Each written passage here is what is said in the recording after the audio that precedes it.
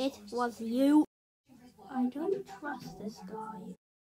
Why did this happen on my birthday? It moved! Who did this to you? It's this guy, a hundred percent.